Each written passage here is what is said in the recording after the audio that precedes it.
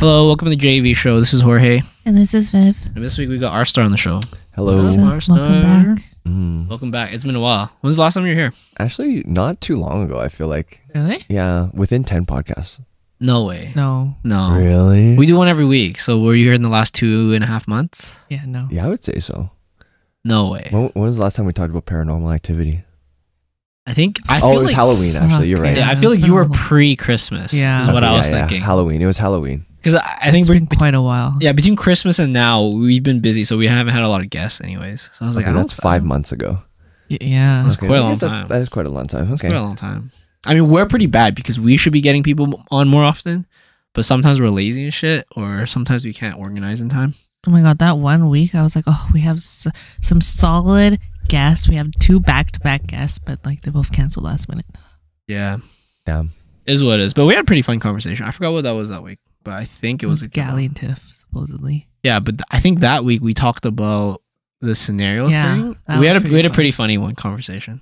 Mm. That was hilarious. I, I forgot exactly all the things that happened, but some of the s- I actually went around there. and asked a few people what they would do in those scenarios. And it's Oh. kind of funny because I tried asking Carmen, and the whole time she's like, I don't fucking know. Okay, stop asking me. I'm like, Why can't you entertain me? yeah, pretty much we uh we went and went through like imaginary scenarios. Mm. Uh, can you think of any off the top of your head? Uh, we should try to do a new scenario. I mean, eventually we will. I'm trying to think of the ones we talked about before to give uh, Rstar an example of what we talked about. It was if you woke up in your bedroom. Yeah, but that was the last one. Okay. We had some really funny ones before. Oh, what Oh, happens uh, like when you the die. ghost one? What happens when you die and you actually become a ghost? What would you do and shit? And that was a hilarious conversation. Oh my god. We're just like, could you imagine? Um, you know how they burn stuff for you, Oh yeah, yeah, yeah. and they burn like a fucking computer for you, but you have no internet, so you're just playing solitaire all day on your fucking ghost computer. Wait, but if you're a ghost, like, shouldn't you be able to just use tangible things in life? Uh, do you think? Do, do you think that's the case for a ghost? Well, I don't know. I would, I would imagine if you're a ghost, then you just live in the real world, and then. But could you actually like press a button or something, or Or do you like phase through when you touch stuff? Well, okay. So think about it this way, Yeah, right? This is a- why are people scared at like haunted houses when it's like a door creaks or something, right? Right, right, right, right. That would mean that, like, for the most part, like there So- needs to be some do kind of force. Yeah, so I think my theory was they can, but a very limited amount. Like they need X amount of power. It's, it's like a cooldown, right? Interesting. You can only lift a pencil or something. Yeah, Yeah, yeah, yeah. you chuck know- it you know- the room. Yeah, you can lift a pencil or a pen or like shift a door or something like that, right? But then now you're on cooldown. you can't do that shit again for another hundred years. That's your refractory period. yeah, yeah. So then, if that's the case, would they even be able to use like real life stuff, right? Uh, I mean, if they could, everything would be fucked up, no? if you watch a horror movie, they can lift up chairs, they can slam doors, they can like drag people across the floor. Yeah, but they're not doing it all the time. So that that kind of in my mind it makes me think like there's a cooldown to this. Like if, if they could do it all the time, why wouldn't they do it? oh all yeah, the there time? would be there would for sure be like mischievous ghosts that just fuck around. Yeah, yeah. If they could do it all the time, they would. It may, maybe it's like a certain time period they have more power, like a like a eclipse or something. Or they're only allowed in the real world when you know in jail when they uh, let you go to the, the playground to get sun. yeah. It's like, all right, here you can have a little bit of free reign, you know. And then that's why, like, in certain spontaneous places in the world, it's like, Yeah. oh, all right, you know, those occurrences can happen. Yeah, right? yeah, Or there'd be ghosts everywhere. Yeah, literally right? yeah, everywhere. yeah, yeah. It's literally just everything would just, or maybe ghosts don't exist. Yeah, that's true too. but I mean, our, our scenario was what would you do when you're if you're a ghost, and we came with all these Funny. like fucked up shit, like how like money's kind of fucking useless down there because they burn so much money, right? Oh yeah, Like yeah. if everyone Like, has a million dollars, it's it's not worth inflation. anything. Or imagine if someone doesn't burn it for you. you're just You're like broke. fuck. Uh, or or they you know how they burn like a little paper house or something or Uh. cars or stuff, but it comes back in like the exact same size. oh yeah, it's like, all right, here's a paper car. yeah, so you're just like playing with the little car. Wait, if you actually think about it, like there's certain ghosts that would not get money burnt anymore because like after you pass a certain amount of generations, like you're not gonna fucking visit all your ancestors. yeah, so we also thought about that. And we're like, those ancestors are preying on you. Like they're like taking Oh, your shit.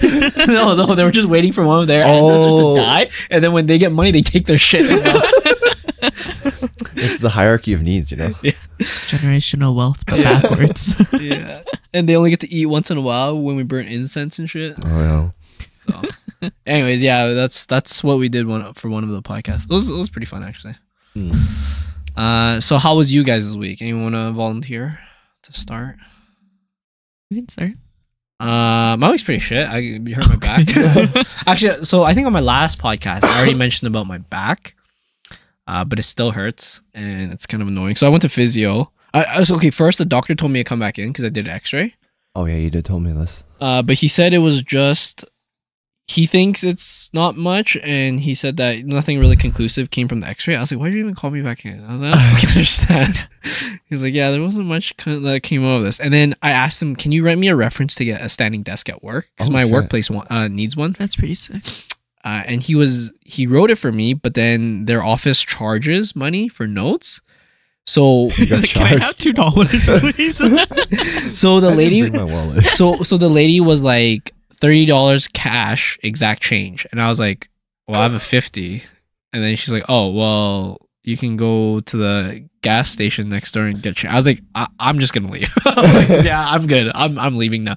She's like, oh, you don't want this? I was like, well, I have to go. So because it was Oh, during lunchtime. Like it was you like didn't. T- you said no to the note. yeah, I was like, well, I have to go to work, so I can't just stay around and try to f- get you thirty dollars cash. Right? Exact so I'm just, change, I'm just gonna fucking leave. Yeah. So I was like, no, I'll just leave. And then I left, and I It's so strange how they like want you to pay cash. And Yeah. There's no other option. I was like, I'm a visa. Like, you Well, want to take my visa? Probably because like healthcare, you know, like you need a terminal, a merchant, you know, and you have to Ah. pay for like services and transaction fees and shit. but to just- not have digital yeah, but at that's all? yeah, that's weird because they do have some like med- some medical records that you can request, and those are like two hundred dollars. But no one's gonna have Of- all oh, that but- cash with them. all But the they could probably bill that too, right? If you t- get medical records, Yeah. like isn't Or, that like, covered? Like literally any other form of payment aside from cash. no, but they o- weird. at least when I asked them, they only accept the cash. No, I mean like billing, as in like it's covered under insurance, oh, so Oh, you don't actually pay out of pocket. yeah. So then you don't need a point of sale. but but too. if that person didn't have insurance, then they'd have to bill them. Oh, somehow yes, you're still, right. anyways, right? Regardless if the insurance covers or not. Maybe it's like okay, yeah, you gotta. I don't know. Pre- yeah, But so, anyways, weird. I left because I I booked a physio right after, and that's why I was like, I can't stay and wait. I have to go right now. Like I'm late for my appointment, so I went to physio, and I just asked my physio, "Hey, can you let me know?" He's like, "Sure." so I was like, "Fuck that, I'm not going in." But yeah, my physio said it's just a bulging disc. Oh shit! What does that look like? like a is that like a herniated disc No, herniated is when it misplaced? uh, no is when it quote unquote blows up. Not blows up, but like it leaks the liquid inside. Oh yeah, yeah, yeah. Um, so a herniated disc in a picture was okay. So this is the disc. The blues are the disc. So Yeah. if you can imagine the bones and the joints between each bones, those are the disc. So a herniated disc is when there's actually a rupture. Oh, in got it.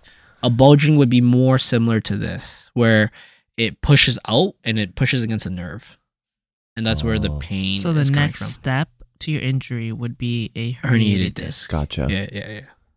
So he says it's bulging, and he gave me pretty much a lot of like Oh, core it's right here. workouts. Oh yeah.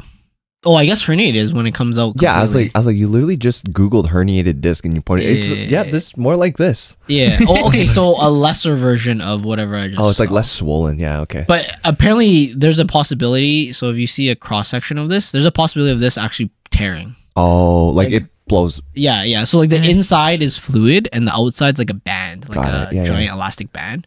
It's like a water balloon. Yeah. And so if it tears, then it's a herniated disc. Yeah, yeah. If it bursts, it's like I think this one's like almost about to burst or pretty practically bursting because it can't really quote unquote burst. Like this is all mass, right? There's there's nowhere for it to go. So then it would just rupture the or thin out the skin of it. Hmm. Uh, so a bulging would be something that just pinches it. That's what he says. He says that's or the physio diagnosed like that. The, the doctor just said just go to physio. Like there's nothing he can really do. Uh, so he just gave me a bunch of core workouts and some like stretches to relieve pain. So how's that supposed to fix your bulging disc? Uh, so in certain positions, it gives it more room for it to return back to its original space. So when you like curl your spine or like stretch in a certain way, Yeah. you give more room between this bone and this bone. So if there's more room, Oh, but like once it's ruptured, like the the yeah, structure of it like can never restore, right? Uh, I'm not sure. I think it can. really? I think it's just uh, it's not like a torn CL, like Oh, any of the yeah. CLs. It, it's not like that. Uh, it's not that type of elastic band. So I think there is still a possibility because I think as long as it's uh, slightly ruptured. immobile, yeah. Uh, but so the thing is, for me, sitting actually hurts more than walking or standing. Oh damn. Yeah. So he did say like when you walk, you kind of shift this a bit and you give it more room to breathe or like let it go back to its original shape. Oh gotcha. Yeah, so that's the annoying part. So I can still do a lot of things, but pretty much anytime I do anything, for example, if I were to get up from this chair, I'd have to force myself to flex my core and my glutes before I get up, just to make sure that it doesn't hurt or it doesn't like impact that Gotcha. portion of it. Whoa. Um, so I could technically still like climb and volleyball and stuff, but it just hurts and it's really annoying. So that's why I'm not doing it. I'm just gonna like give it Cover. some rest. Yeah, give it some rest and then just don't focus. aggravate it more, right? Yeah, focus on the core thing. Pretty much right now, the only thing I'm focused on is hold my poop in, so I have to like flex my glute all the time, and then pretend I'm at the beach, so I have to like try to flex my core all the time. It Oh, sounds it sounds like you're working your Kegel muscles or your pelvic floor. Mm, maybe I I don't feel know. like they're different. I Oh, think really? I'm. I I- all I know is I'm thinking about my core and my glutes and trying to make sure whenever I do any movement that could curve my spine, I flex those to make sure it keeps the back part uh, stiff. Mm. Can you search up the difference between your pelvic floor muscles and your Kegel muscles? Um. Yeah. Okay. One's in the front, one's in the back. There. Boom. oh, really? I think so. you guys want to hear this girl from Japan? Uh, Say hi. This is for the podcast. You have five seconds. Five. Hello, pod. Say wait. Say it one more time. Hello, JAV show. I don't understand. What kind, of what kind of Japanese is that? Hold up, guys. I'm not sure what kind of Japanese that is. All right. Goodbye. Uh, yeah. So that's been my week. Uh, kind of annoying, but it- it's just annoying. Like the pain's Yeah. annoying all the time, and yeah. Oh shit! Do you believe in like the like the waxing moon and like all these random cycles of the stars and the moons and shit? No. Like astrology. Because this week Mm. I got I feel like I got injured too. Oh, I got injured last week, so.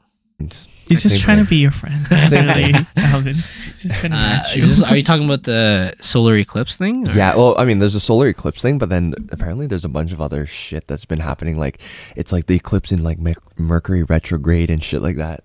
I, I swear, I've heard Mercury retrograde. Like those. it is mer- three. Mercury retrograde. I know, but those three syllables, I feel like are always together. I've never heard of Pluto retrograde. I've never heard of Mars metro. It's I think always. a Venus retrograde too, right? I, I hear swear, that sometimes. every had no time I hear anyone talk about this astrology bullshit, it's always Mercury and then specifically retrograde. Retrograde. but I actually don't know what it means. Yeah, Like, me at neither. I know, but I'm sorry. Every time I heard it, it's not like moon metro- retrograde. It's not like moon uh urban grade or like any other like random Retro terminology. It's like this very specific Suburban planet grade. with Yeah. this grade.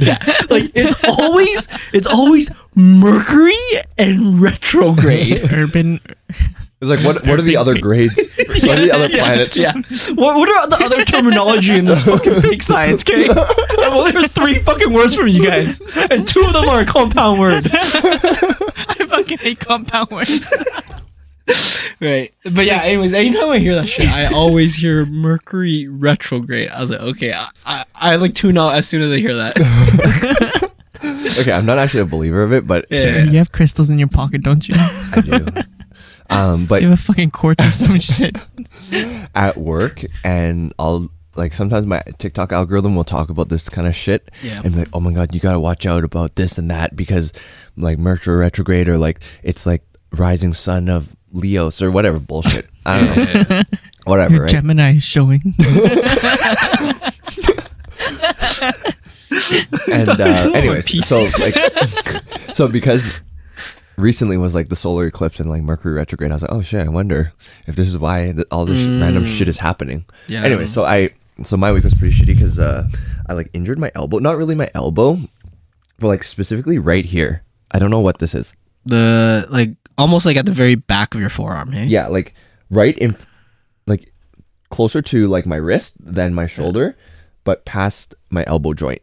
Oh. My, my, my elbow joint is here. It's on the side of my forearm, like at the very bottom of my forearm. So it, it felt really sore, and like only in certain motions, like if I had to push open a door, it would like hurt. Oh, oh like Oh, a sharp Jesus. pain. like a like a sharp lingering pain. Yeah, Oh. and it almost feels like I had no strength. Like, have you ever had a rotator cuff injury? Yeah, yeah, yeah. Right, where you, you feel like it's very weak. Yeah, yeah, Right? yeah. And so that's kind of what it felt like. It's a very sharp pain, and I felt like I had no strength, Almost like a partial dislocation kind of thing. like a tear almost. Yeah, Oh, gripping the broomstick too hard. Eh? you're right. Shit. Um. So yeah, there's that, and then uh, went to the dentist today and to get a fucking root canal, and then apparently it's too specific, so I got to get referred to a specialist to finish the job. How annoying, eh? Yeah. Like you go to the specialist in teeth. Yeah, it's like, Well, come on, bro. Not specialist yet. If you go to a regular dentist, there's different. kinds. okay, so if you go to any medical professional, that guy's the specialist in teeth. Oh, you're right. I get what you mean. he literally specializes in. I mean, I, I hate to say, it, but like a portion of your body, which Yeah. is your teeth, Yeah. and then now he has to send you to another specialist. Yeah, exactly. Yeah. So there's that. Um. So yeah, my like I got done this morning, so my li- my like chin and my lips are like, Numb? numb and slightly Oh. swollen. Not as bad as earlier. Wait, Uh, is root canal when your root like sticks out a bit and it starts hurting? or? Um, I don't Is know. that what? Or, I don't. I don't think that's what a root canal is. It's like it's a procedure, is from what I understand it to be. Um, to remove inflamed or infected pulp on the inside, Inside of, of the your tooth, yeah. Oh, So basically, what my dentist told me happened was that one of my nerves died in my tooth, and so they have to basically clean out that infected pulp. yeah, yeah, yeah, yeah. or like whatever by drilling a hole inside oh. my teeth and cleaning that out. Oh, okay. Yeah, It's kind of like a ca- kind of like a cavity, kind of yeah. but not exactly. how'd you injure it? Anyways, I don't know how I injured it. I chipped my tooth, right? And then I went to go get it filled, and then he's like, "Oh, did an X-ray," and he was like, "Oh, what happened? Like, did you get punched in the face or something like that?" Because uh, like there's a bunch of trauma or like some sort of indication of trauma Yeah. um when they did the X-ray, and yeah, there's basically they found out there's no nerve in my fucking tooth, and so I can't Oh. feel shit on this one tooth. oh, Yeah. wait, what happened then? Did you get I- punched? I I remember like the most recent event. I remember getting like elbowed coming down from a block, Oh, and that's the only thing I could think of. Otherwise, I have no fucking idea. damn, that's rough. Yeah. So yeah, that's my week. Pretty shitty, but uh, not bad. It's so rough because like, this is your only set of teeth forever, kind of thing. Yeah. Right. Which just kind of well, actually, you know what's funny is um, I feel like a lot of people get veneers though. You know what veneers are? What is that? It's like when they shave down your fucking teeth and they give you a whole new set of teeth that Oh. are just perfect fake teeth. Oh yeah, people who don't brush their teeth. No, it's people who want like a dent, a different tooth shape and Yeah, different, exactly. Like It's not. they- It's not like it's not like a clip-on denture. Yeah, yeah, but like for them to get to that state, wouldn't they have to have pretty bad de- bad dental No, care? it, it, it can be like an aesthetic thing. yeah. oh, Yeah. Like if you look at somebody's teeth and Yeah. how it's shaped, it doesn't look exactly like how you would see Hollywood people's mouths to look like. Mm. The opacity of the tooth, the shape, Yeah, the length, yeah, yeah. everything about it. You can just completely change it so it's more aesthetic Oh, I see, I see. to American standards. No, I'm in the belief of that. Remember that breathe book I talked about? hmm How it's like if you chew more and the whole mewing thing, you could actually get your teeth to look perfect, as in it's in the right sh- like Oh. position. Oh, Just because like our mouth is crowded from our mouth being too small and our teeth staying the same as it was back in the day. oh, right? I see. Uh, but yeah, Damn. let's go. Yeah. But yeah, I I just think like it's pretty sad that like this is the only set you get. Yeah, So if, if actually, you if you tear a muscle, it, It can repair and shit. Most ligaments, not all, but most ligaments, if you have you know some minor tearing thing, Mm. it can repair. But teeth, it's this is it like this is not your nat. it will- You'll never get your natural tooth back. Yeah, Mhm. yeah, and for example, my grandma, she's still using her same set. Obviously, she has some like dentist stuff done to it. But still, it's like when I'm 80, I kind of wish I still have my own Like teeth. perfect teeth and Yeah, shit. yeah, yeah. But that's also something that I heard is that you can't repair your enamel, Yeah, yeah, Yeah. right? yeah. Yeah. Which is crazy because you're always shaving it down little Yeah. by little, right? Yeah. No matter how many microns, it's still getting shaved down over Yeah. the days and the months and the years. And when you eat and stuff like that. yeah. Mm. Damn. All right, Viv. Hopefully your week's been better than ours. My week's been pretty normal actually. Even I, Mercury retrograde. Damn. Yes, I have actually. It's really affected me. Oh, the Jupiter tidal force must be counteracting the lunar rising in the fucking north. Some shit. I don't know. I had a pretty normal week on Sunday.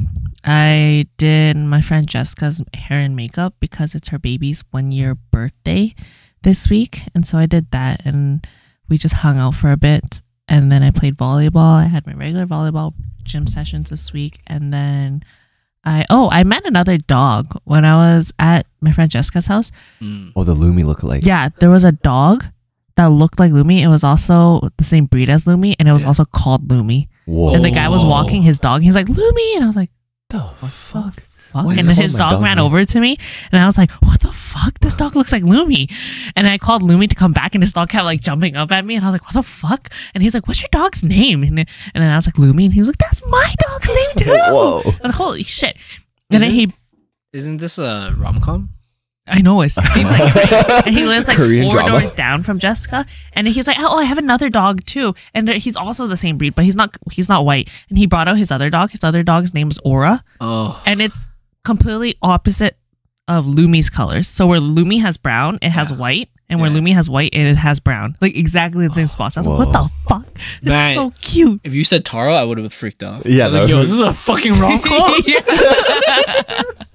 Except it's Harold and Kumar. That one's it.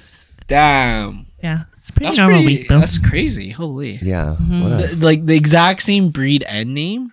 That same breed, exact same name, and they had another dog that has completely opposite colors of Lumi in the Do same you, spots. do you think Lumi has a very basic name then, or Mm, it's not as special as I thought it was initially because I think this is my like third time hearing another dog we called Lumi. yeah?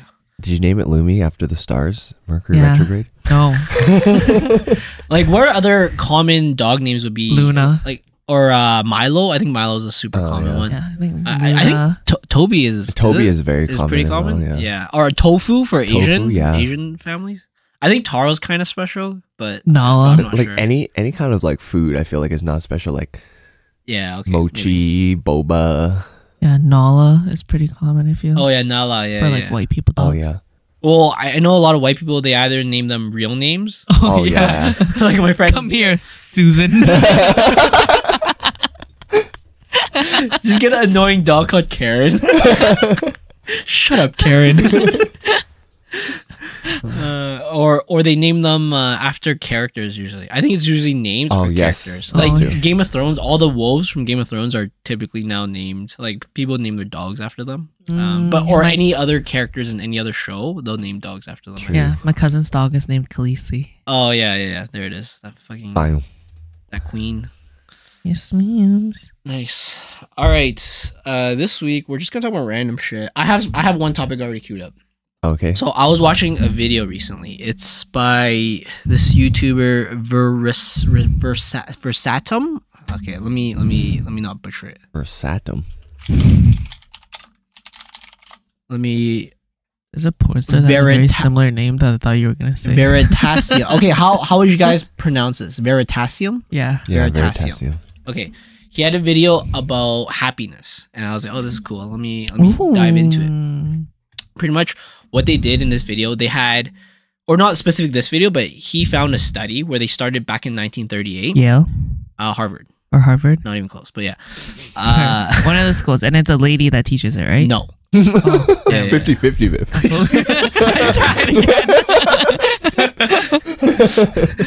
again. so there were two studies happening uh, at first they were separate studies and what they did is they tracked i think one of the studies tracked like 70 some male or male from harvard and another i think like 300 some kids from the school.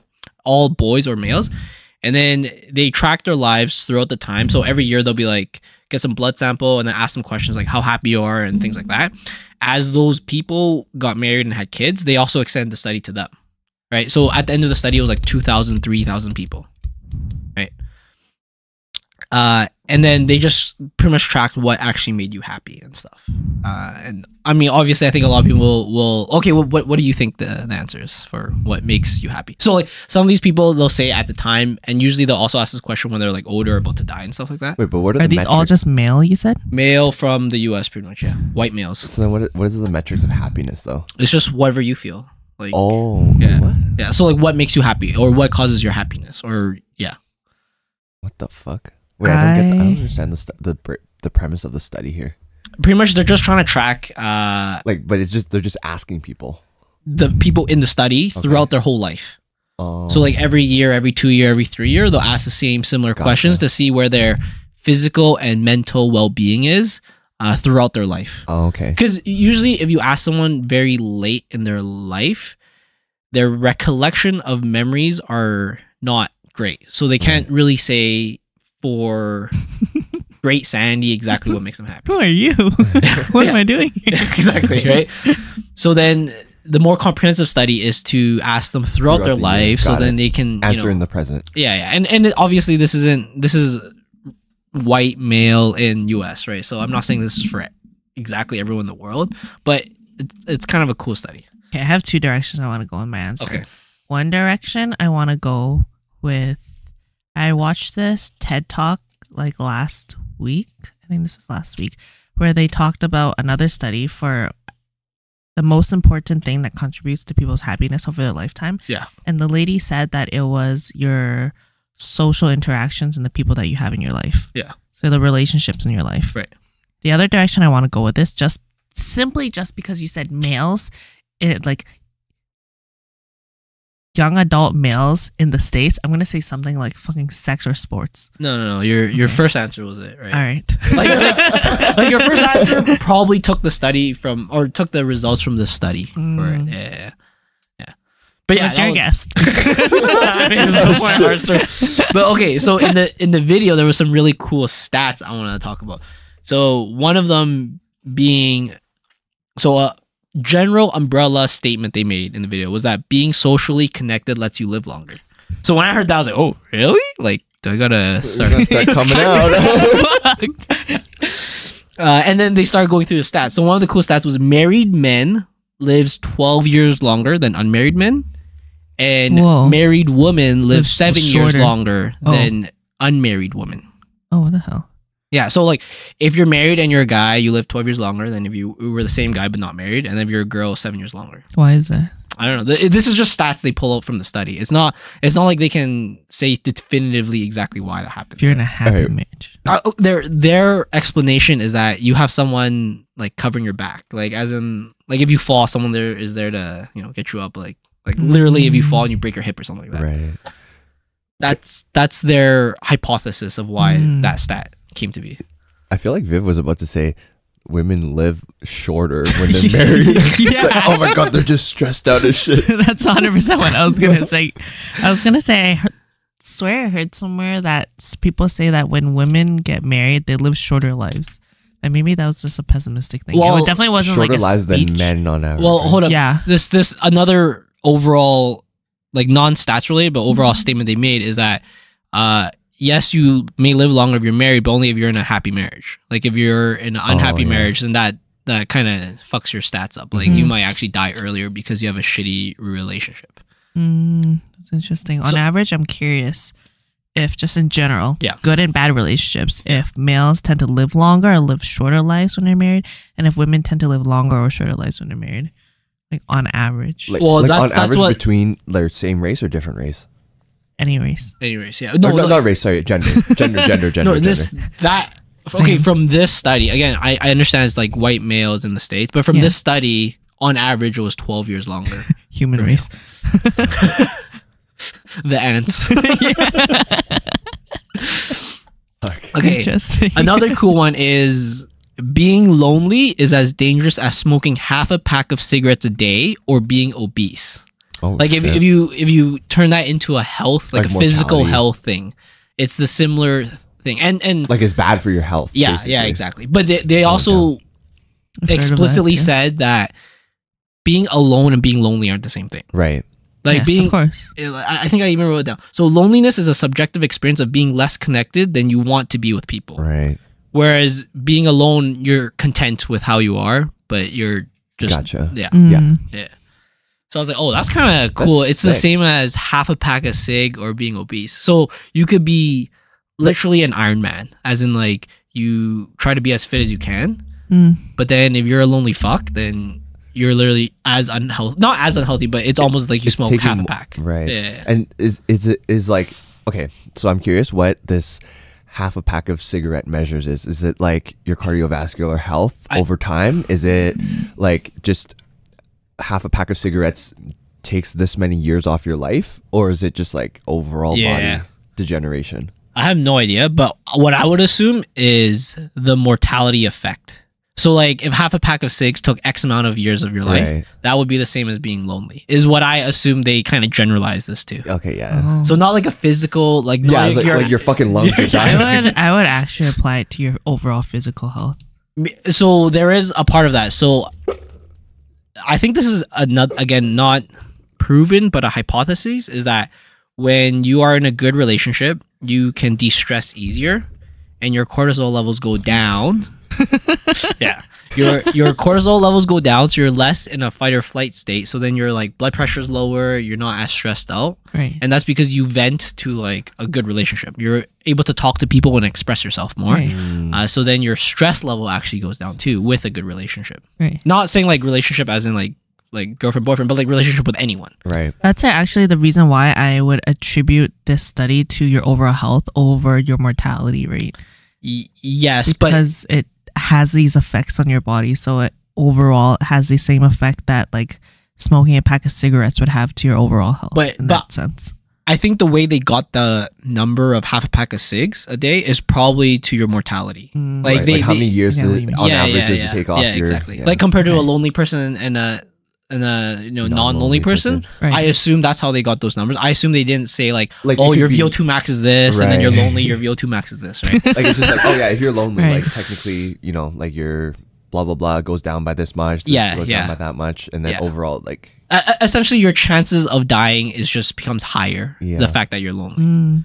which i was like oh that's kind of that's kind of cool like i think this is the one thing i've in the past like three four maybe five years have worked towards improving but back then i didn't give a shit about it yeah you're trying to be immortal yeah like well no back then i was trying to be immortal but without thinking about this relationship side and how it Oh. affects it like Right. like physical pretty much not just physical, but like if if I want to live as long as I can, then I should consider all things, not just the physical stuff. But for example, if I start, but that's you know, like the first thing that comes to mind though yeah, right? yeah, that's the first thing that comes to mind. But for example, if I want to live forever and all of a sudden I'm skydiving every week, Yeah, then a little like that's a little bit counterintuitive because your chances of dying is now high. Or if I'm like driving 200 kilometers an hour through the highway, then Right. that's Or kind of you're choos- counter. or you're choosing a job that like requires you to drive a lot through that yeah, city. yeah, Then those kind of like Yeah, yeah. counteracts each other, right?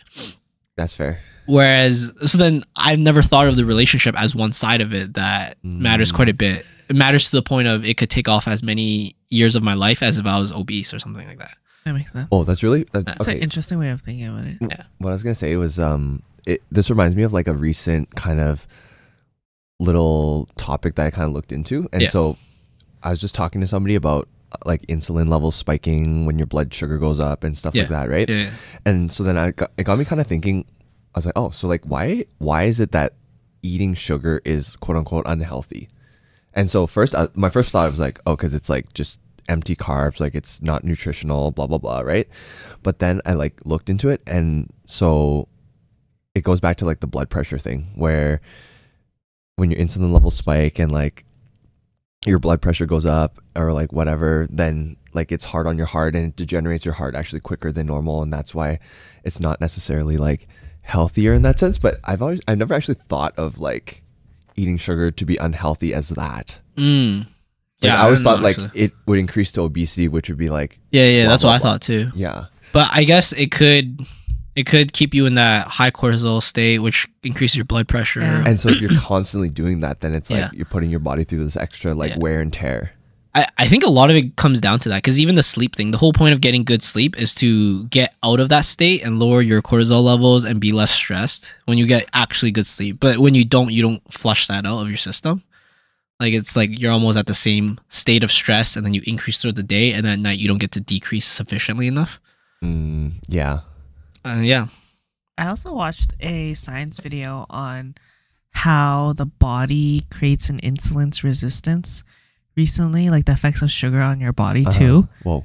And it was kind of cool because I didn't I didn't know exactly how sugar affects your insulin levels and how you eventually build an insulin resistance. Yeah. And how that affects all the other processes in your body, how it raises your cortisol levels eventually. And so that's how I also just recently learned how sugar affects your body and your health. Mhm.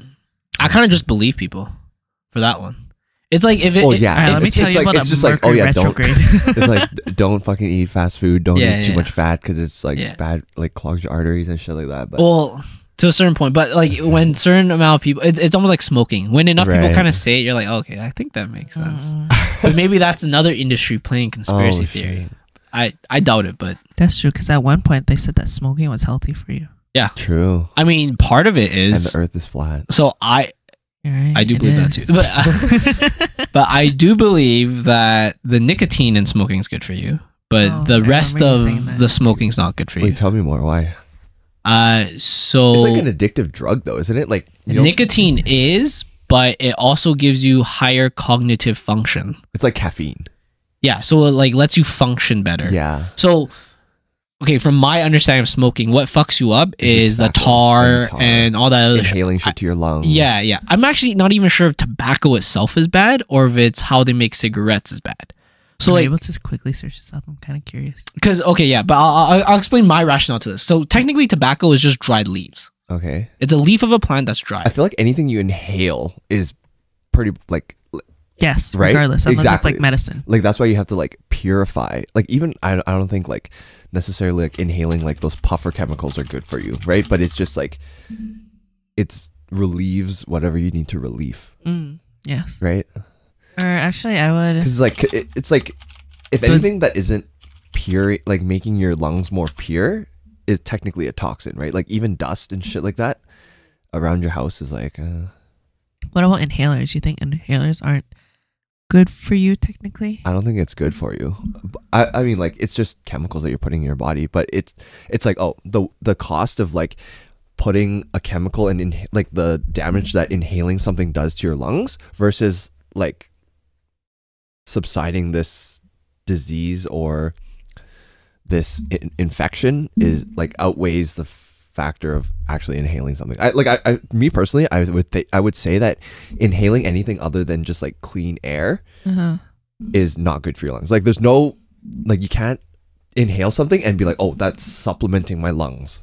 oh no, what but if you had a lung disease Yeah. and inhaling that medicine helps relieve that disease or yeah, helps like clear up the things, yeah, that are causing your lungs to suffer? So th- think of it this way, like if you had the if you had the chance to basically heal both uh heal that infection, one by just taking like a a drug that you just eat versus Hmm. inhaling it, which one do you think is like takes a bigger tax on your body? But I uh, would argue that it's not. That's not really a so like so you can't they don't do the same thing essentially so it's not really the same kind of question because when you inhale things the particles that you inhale are a lot smaller than if you ingest something and it gets into different parts of your lungs that ingesting something cannot Right. So that's what I'm saying though, is like if you had something that could cure that same thing. So the reason why you have to inhale it, right, is because of right the, okay the physiology Yeah, of what yeah. you're saying, right? Yeah. So I'm saying that if you had the opportunity to ingest it versus like inhaling it, if they both did the same thing and cured the same thing, do you think doctors would recommend that you inhale it or ingest it? And that, my argument is that they would be like, oh, ingest it because like it takes less of a toll on your body. It's like if you could inject something in your veins or swallow something, you would probably s- choose to swallow it, right? Because it takes less of a toll. There's like less because it doesn't on your replace body. the oxygen that's the Mm. one argument i can make in my head What? No. because it doesn't replace the oxygen like if you were to inhale something part of the the capacity in your lungs would be, would be replaced by the medicine and not oxygen that is good for you. Versus if you were to ingest something, then there's no oxygen replaced in your blood, and you just get supplemented with the medicine. No, I, I think it's uh it's local dosing. You you you don't want to okay, so say you have say you don't want to get tanned, okay? You put Mhm. sunscreen on your skin. You Uh-huh. don't drink sunscreen. Okay, you can still get a fucking tan if you okay, put sunscreen. okay, just I'm just trying to make a point here. Yes. Okay, so you don't ingest it because you don't want that effects to affect your whole body. You only want local dosing. You only want it to happen at one specific part of your body only. And that's what inhalers or inhalants do is that they give a local dose, not a overall dose to your body. So when you ingest something, it gives the dose to your entire body, but sometimes you don't want that to the rest of your body. For example, if you have like asthma or something, they typically have some type of steroids that they inhale and it gives a local dose of steroids to the lungs rather than steroids to the whole body Mm, that's my like rationale why they would use that rather than another thing is that If you, want a local dose inhale something, doesn't it still go into your bloodstream anyways? It does. yeah Yeah. yeah it does but but And that goes everywhere in your body. you you still want the highest concentration of Yeah. dose exactly Mm. where you want it right so it's like if you have a burn on your knee you're not gonna rub ra- like go vapor on your on your hands And Is- then and, and then is- gets to your yeah knee. yeah exactly that's kind of the rationale of why they dose directly now yeah if there was a drug that you can pick exactly where it goes to then i think doctors will always pick that right but right, but like, do you, don't you think like inhaling something is just like bad, like practice? Uh, I don't know. That's so hard to say. So one thing I know is that if you can get specific drugs up your nose, Yeah, uh, it crosses the blood-brain barrier faster. right. Yeah. It's So just faster absorption, right? Uh, well, it's more effective because the other thing about absorption is that the longer it is somewhere else in your body, it can metabolize It's and less not. potent. Yeah, exactly. Right. So I wouldn't say it's always better. Like if you want something to actually cross the blood-brain brain, blood-brain barrier, then sometimes maybe up the nose would be good. Or if you want something directly at your lungs, maybe directly to the lungs rather than the blood, then to the lungs. Hmm. But you know, I, I see your argument. It's like dust. Like everyone, you know, says they're allergic to dust, but everyone's allergic to dust. Like no one wants dust Yeah. in their lungs. Dust is bad for you. Is everyone really allergic to dust? Everyone says they're allergic to. I mean, no, okay, no one. Like on the spectrum. Yeah, exactly. I see. It's I like feel like some people can get really fucking dirty and Sorry. dusty and nothing Okay. fucking happens to them. uh, that, that's a bad statement. I- I should say no one's not allergic to Mm. dust. Fair. Like it'll affect Yeah. everyone in some way, no matter what.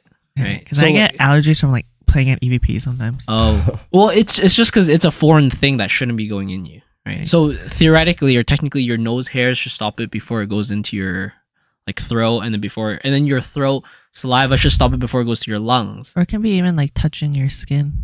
Oh, dust on your skin. I'm not sure about Yeah. that. Like, I don't think people are naturally allergic to that. I, That I- that part's different. Yeah, I don't know. Yeah, Okay. because technically, dust is skin. Yes. That dust is well, dead skin. So if dead skin, touches your and skin and dirt your And Oh, sweat. yeah, I th- I think it's more of a you, dander. you problem for that one. I think uh, what I'm saying is like inhaling dust. Everyone's allergic to that. Yeah. But uh, yeah, dust on your skin. I'm not sure. I don't know. Okay, yeah, that's me. But anyways, yeah, I think tobacco's still bad for you. I think the cigarettes is worse because they process it. But I think tobacco's still bad. Apparently, all parts of the tobacco plant are poisonous. But you literally fuck. No, but okay. This is why I don't like these uh, sites that just say this because because technically It's WebMD. technically everything is poisonous to you, right? With a high enough dose of anything, it's poisonous True, to you. even water. Yeah. Right. So, yeah. Okay. Like, pork is poisonous to you, right? Uh, like beef is poisonous to you. So it's kind of hard to make this And overall fish. statement. If they said po- if they said t- tobacco is poisonous to you at X amount of dose, then I'll be like, okay, that makes sense, right? Right. Uh, but they probably can't say that because of the what's the what's the one? Not Madida. What's the other one that's against smoking? Some Moms against drunk driving. Nah, not not oh, Madida. like the the fucking thing that There's- makes you post uh, those pictures of the lungs and shit. On yeah, the, yeah, yeah. So yeah, but I, I know for sure the nicotine in it is good for you, uh, which is natural in tobacco leaves. oh, But um, I think cigarettes itself are worse because they process the shit out of that. Mm, I think like did you, when you guys went to school, did they ever show you all the shit they put into cigarettes? Like, oh my god, do you guys yeah. know who? Like, I think her name is like Tara Fox or something. this is a porn star or something? No, Oh, it's this lady. Oh, maybe she was just like popular in my area. I think her name was Tara Fox, or it's, it's something Fox. If you search up something Fox, you want Terry smoking? Fox comes up. smoking, Smoking. and then something. And her name is her name is something Fox. I think it's like Tara Fox. And then, or at least in my elementary school in my whole area, everyone knew about her. So I thought she was like some. is she one of the ladies without a throat? And Yeah. have the thing. Yeah, Yeah, yeah. Mm, That's she was crazy. known in my elementary school as like some lady that smoked a lot, and she had to remove her voice blocks. Yeah, and she yeah. had to had a have she had a hole there Yeah. and had to have a machine right here. And Yeah. she came in like every single year Yeah. to do a speech and warn kids about the dangers of smoking. And I was like, holy shit! She's like, this is what she does as for her living. Like she goes around and does inspirational speeches oh to like god. warn kids not to smoke. And may- I'm guessing maybe it's because her daughter went to our schools. So everyone's like, your mom's the smoker. Oh like you're gonna, and every single time her she got sick, people would be like, "You're turning into her." Well, all that shit. But I thought, I thought sh- everyone knew about her, but I guess not. well, no, I actually don't blame the kids because, like, as a kid, you don't understand how cancer work. You're like, can it spread and shit? So then you like try to stay away, right? Because cancer sounds like the scariest thing in the world, right? yeah. And I remember when I saw that as a kid, I'd like hold my lungs and or poke my throat Yeah. right here and be like, "Holy shit, I'm her." You're a fucking bully. Never be like this, man. Uh, yeah. The crazy thing is, I think some of those people still smoke. That's crazy. Like they smoke through Like this thingy, or like Holy still this. And and the crazy thing, I think, okay, they're not specifically trying to show this, but I think the crazy part is that's how addictive it is for some people. Fair. Like Is how it? addictive it is is like you're literally dying and you still want another puff kind of thing. you know, do what I you mean? get withdrawal symptoms Yeah, from you do. like the same as alcohol? no, no, no, no.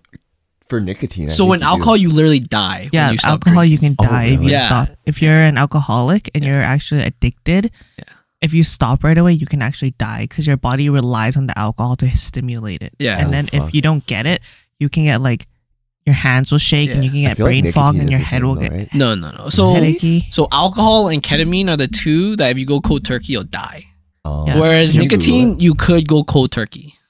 And it's just your habits. That it's just makes really it hard. difficult. It's just yeah, it's just very Oh. difficult. It's like you Like, walk by can't have someone, nicotine withdrawals. you Not you, to that extent. you you probably do, but you won't die from it, Oh, right? So it. like a, a doctor can probably responsibly recommend stop smoking, but they may or may not can responsibly recommend like go cold Stop turkey on drinking, drinking. Oh, yes. like that. for Yeah. drinking. If if you want to quit and you're an alcoholic, you actually have to slow like down off. And you, have to can't go- quit. you have to find cold God. turkey. You have to go through it. all the steps, and you got to find God for it to work. Okay, speaking on that nicotine topic, Yeah. so um on TikTok and stuff, there's this new thing called Zans or whatever, and it's basically like nicotine strips that you, it's like chewing Oh, tobacco. you stick it up your gum, right? yeah, you stick it Oh. on your gums, and Yeah. it basically like you absorb a bunch of nicotine, and Yeah. people are using this as like pre workout for mo- like higher function and shit like that. Oh. And I'm like, holy shit, that's kind of I have I have thought of using nicotine gum as like just trying it out. I don't think- you ain't gonna live as long as you think you are, bro. But apparently it helps you cognitively an insane Drink like coffee a or really some high shit. amount. Let me let me let me, buy, let, You want let me buy you let me buy you a, t- a tin of Zans. No, no, no, no, no. I don't I don't want to fuck up my gums or teeth or anything like that. Like like No, it's not it's not tobacco though. yeah, yeah, I understand. Yeah. That's kind of weird. You put it right Did you get a patch? I thought about it. So like some profs actually use it. What? Nicotine just patches? nicotine patches or gums, just just because they want they know the effects and good effects of nicotine, and they're This just on. you don't You wanna should put- this guy Pavlov said he yourself. doesn't want to put shit on his gums, but he's like, yo, but I'm gonna buy nicotine gum. You're literally know, chewing right? it. It's different though. You should Pavlov yourself. What was that? Put a nicotine patch or eat nicotine gum every single time you do something difficult, but you want to do it, something that Mm. brings you towards some big goal or some yeah, yeah, shit. yeah, Oh yeah. my. And so, whenever you need to do this task, Yeah. you'll crave doing it because your body will associate it with the craving of nicotine. Yeah, You I Pavlov yourself. don't want to make myself and you'll be addicted more to stuff. successful. I don't think so. You can run a science experiment. No on yourself. I have thought like if I ever get really stressed out with work or anything, I might think about it. But that's Like the nicotine extent. or Pavlov. nicotine. Well, like it's the same Just thing. thinks about the guy. But but so far, everything feels better. so far nothing has been too like difficult or stressful enough for me to result to doing that or to resort into actually doing that. what was the most stressful moment of your life? Um, when my first, ki- no, I'm just kidding. what? I was gonna say when my first kid. uh, I don't. You couldn't pick which staircase. I'm trying to think. Like, honestly, probably school.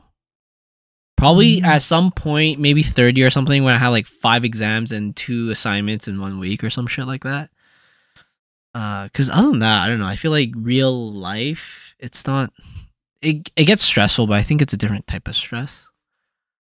Mm. Uh, I don't know how to explain it, but a lot of it is just waiting too, which is itself stressful. But if you can figure out ways to get around the waiting game, then nothing in life is, I think, is that stressful.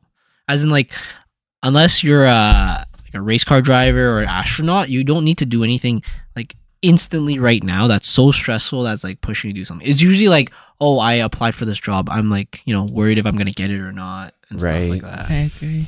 But there's nothing like, hey, there's a gun to my head type of stress or anything Fair. or anything immediate. Except, Like with infinite, basically, you're saying like with infinite time, like you can basically do anything you want. yeah, yeah, yeah. So, what would you say is your most stressful moment in school? Probably that was the last time I was really stressed out. Because I think, other than that, like nothing's really happened in my family that I've been really stressed out about. Mm. Because like my last family death was like I think during school. Like my Yeah. grandpa and my aunt passed away while I was in school. Yeah, Mm. But other than that, like no one's really passed since. that's interesting because, uh, like when I think of stress, right? Like anything that I have control over, I would feel like I'm not as stressed, and I get stressed more so for stuff that's like outside of my control. But then uh, now I'm like, oh, if it's outside my control, like why am I stressing over it? Yeah, Oh, and I agree. And I think the same other, the other thing is if it's outside of your control, you're probably waiting for a Yeah, result or something like that, right? So I think that's the only real scenario is like I'm waiting for something to happen. Fair. So if you can distract yourself enough, it doesn't feel that stressful. But it's it's different. Mm. It's not like I'm like in a SWAT team. I think I assume their type of stress is a lot different. Oh yeah. I feel like my last, like the most stressful thing would probably be like overcoming in some sort of injury or something, or like what, yeah, like what you said Mm. with uh, like the waiting thing about like yeah, when a family member is like you know Yeah, yeah, in, yeah. like in need or some shit. Yeah. I mean, it's different. I, I don't think we really get performance stress. I, I I'd be curious to ask like a police officer or a firefighter or something. Right. Like the High stress, they go through. environments like that. Yeah, because they have uh, operational stress, Right. right? Or even how even so? How so? Hmm? What What do you mean by operational stress? Like if they do the wrong thing or take the wrong action, someone might die. Oh, Right? I feel fair. like that stress weighs a lot differently. I guess then- somebody else's death or when somebody else's matters in your hands, But- it is a little bit more stressful. Well, it's also you have to make a decision right now, right? Like a judgment call, basically. Yeah. Whereas, like for example, if I have a stressful situation, I want to Like, apply for this thing. for I. I have a lot of time. I can think about it. I can think through it, right? But those guys, it's like here's Like, the scene right here, right now. Yeah, you have to Especially in do. your front the field. Yeah, yeah, you have to do the thing right now and get the best outcome right now, right? Right. I feel like that's a way different. Stress, It is right. true. Mhm. I think that's maybe closer to like an intense version of uh, exam anxiety, maybe, where it's like you have to do something with some type of direct outcome. But even then, I don't get Like I don't on get, the spot, right? Like Yeah. no preparation, really. Like yeah, yeah, almost like uh like an interview. right. I feel like that stress would be a more intense version of an interview Mm. type of stress. Do you think they'd be stressed about like dying on the job? I don't think they're thinking about that at the Yeah. moment. Oh shit. I think they're thinking about the optimal outcome with the situation they're given. I guess like if you go into that field, like you're just Yeah, yeah. Yeah, I feel like if you were little scared to die, then you wouldn't go You into wouldn't that. yeah, That's yeah, not yeah, yeah. Uh, You'll hesitate too much to do the right thing if you're scared to die. I, I think in, in their field. Well, how about you? When's the last time you were super stressed? Actually, I was trying to think of it. and I can't. I don't really know. I would. Uh, The, The breakup? ones- or? I don't. I wouldn't call it stress though. I Oh. think that that's just sad. I, the one example that I thought of was when I had my car accident. Oh yeah, yeah, It yeah. was pretty fucking stressful. Yeah, yeah, I was trying to move my car and get it towed and shit. Yeah. oh because Yeah. of yeah. Yeah, yeah. hmm But aside from that, I would say normally I also don't really stress about things because I feel like okay, if it's in my control, then I'll do my best.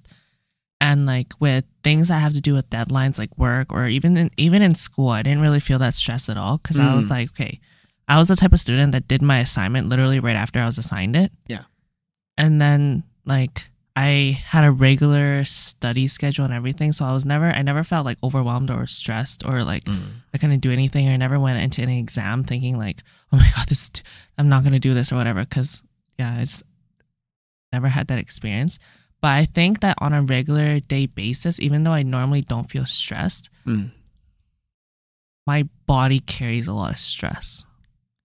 Like do you mean? over like a lot of small things, like I mentally don't feel it or don't think about it, but I like clench my jaw a lot, or I Mm. like yeah i clench my jaws a lot and i shrug my shoulders a lot and i tense up my like traps a lot like all the time pretty much like unless i'm consciously thinking about relaxing it or i'm trying to sleep then it's pretty much tense like most of the time yeah. and i know that's how you, i carry stress but i don't know where it's from actually The Mercury thing. right right Well, actually, I can see how work deadlines could be stressful, especially if you're newer to the job.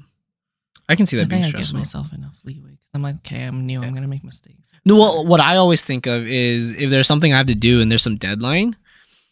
Uh, yeah, you're right. I usually give myself enough time, but if I if I don't know how to do it, I kind of personally think it's also like a training issue too. So I have to like talk to people or try to figure out how to do it. And then if they just want me to figure out, then I'll be like, all right, I'll poop something out for you. Whatever it is, it is, right? Yeah. That's and i'm like if it's important enough that i can't uh, there's zero room for mistakes then you shouldn't have given it to me yeah, yeah, yeah, yeah. that's True. what I think. Like it, it's almost like you're just confident with what you have to just basically do the best that you can do, and like Yeah. that's like given all the circumstances, it's like, all right, well, this is the best I could do, so it's whatever. Yeah. Like It- I think a lot of people put a reflection of their work to be like, oh, that's like their worth, Yeah. but I I don't know. Like there's just so many factors around it too, right? Like at work, if you are like new to a project or like whatever, it's like somebody else gets fired and you have to end up helping them finish their work and maybe you know like you just don't have enough no, like reasonable time to like look into like the backstory and like everything that's happened it's like okay well i did the best that i could do based off of like the scenarios right and i feel like there's just a lot of external stuff that also plays into account so like i think the part that where people kind of take it personally yeah, when you know a project doesn't go good or whatever that it's i don't know yeah, like unless you actually really fucked up and like didn't start until like the day before yeah. and you had a fuck ton of time like yeah. But y- even then, even if I do make a mistake, I, I feel like it's nice knowing that I want to say 90, maybe even like 95% of the workforce doesn't even know what the fuck they're doing most of the time. true mm-hmm. So it's like kind of like, okay, well, we're all in the same boat here. yeah Kind of makes you feel a bit more relieved. yeah I agree. Yeah. I mean, there is a stress in like, if you have to take a shit real bad and you can't and you can't at And the you- moment, oh god I that's pretty stressful, but it's a different type of stress. Yeah. It is stressful though, because it's like, it is kind of within your control, but it's kind of not. when I think of stress, I feel like it's a bigger, more like over looming thing, overwhelming Ah. feeling. Like I can't, like super How- overwhelming. yeah, like an Yeah. overwhelming feeling, and I can't really, I don't have much grasp of the situation.